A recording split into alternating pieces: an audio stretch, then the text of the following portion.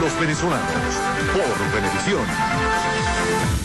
Amigos de Opinión Meridiana, hoy recibimos la visita de Irán Gaviria, candidato a la gobernación de Aragua por un nuevo tiempo. Muchísimas gracias por esta nueva visita.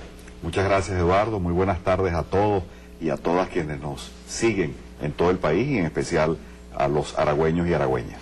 Recuerden amigos, 793-1634, 793-1845. Para sus preguntas, esta entrevista la puede volver a ver en www.noticierovenevisión.net.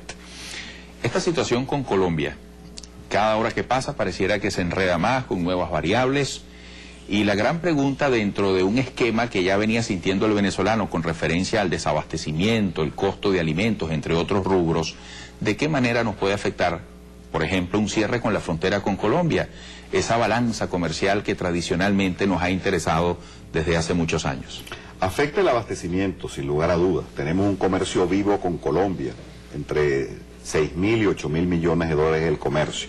Nosotros vendemos productos agropecuarios a Colombia, por ejemplo arroz, 150 mil toneladas, e importamos una gran cantidad de productos. No se sabe el volumen a ciencia cierta y el porcentaje. Fede Cámaras habla de un 30%. Entre otros, el abastecimiento de azúcar, los déficits de azúcar, los traemos de Colombia. De forma tal que cerrar la frontera, hemos visto las, las colas de camiones, termina perjudicando a los venezolanos más humildes. Pero nos afecta también como nación, Eduardo. Este, Venezuela no es un país belicista, y mucho menos con Colombia. Hasta 1830 fuimos la misma nación. De forma tal que cuando el gobierno de Venezuela tiene una iniciativa, una escalada bélica, está en contra de los intereses nacionales. Este es un problema que deben resolver fundamentalmente los colombianos. Si bien nos afecta como país vecino, nuestra intervención en Colombia debe ser para propiciar la paz, una salida negociada en Colombia y el conflicto con Ecuador por la muerte de Raúl Reyes deben solucionarlo por la vía diplomática Ecuador y Colombia. Sobre este particular, la reflexión que yo hago es un llamado a la ponderación, a que el presidente de la República cumpla con la Constitución Nacional. En el artículo 326 de la Constitución dice que la seguridad de la nación, en este caso de Venezuela, se fundamenta en la, entre, en la corresponsabilidad entre el Estado y la sociedad civil para dar cumplimiento a los principios de independencia, democracia, igualdad, etc.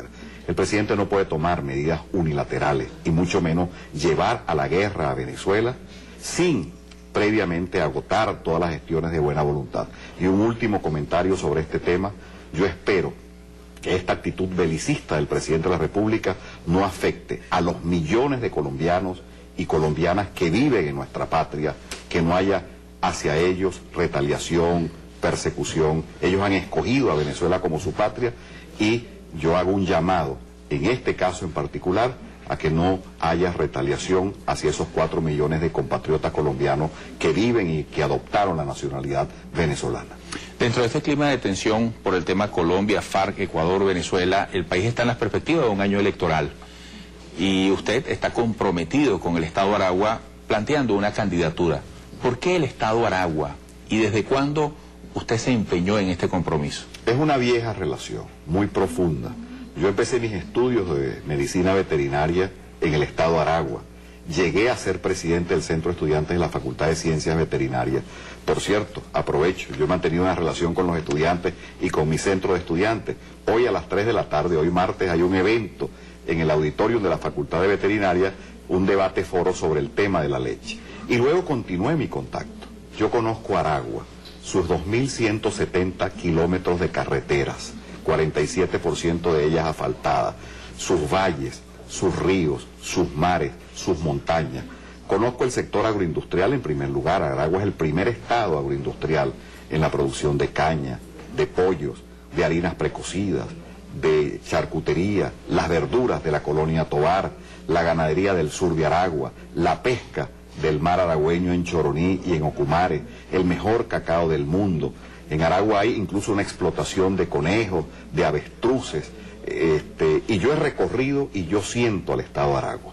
De forma tal que cuando yo establezco un compromiso con Aragua para ser su líder en las próximas elecciones regionales, es por un compromiso vital y por un conocimiento que tengo palmo a palmo de lo que es la geografía y la población aragüeña. Usted ha citado varias potencialidades para el desarrollo de una región tan importante como esta, de ubicación incluso estratégica en la geografía venezolana. Vamos a hacer una pausa al regreso con las preguntas de los televidentes. Vamos a ir a los temas de fondo, esos que muchas veces no se ven cuando uno va en la vía, más allá del asfalto, la inseguridad, el aspecto de una ciudad o de una región y tocar asuntos tan importantes como ese. ¿Qué haría usted ejecutivamente como gobernador de Aragua con un problema como el de la inseguridad, por ejemplo? Recuerden, 793-1634, 793-1845. Ya venimos con Irán Gaviria en Opinión Meridiana.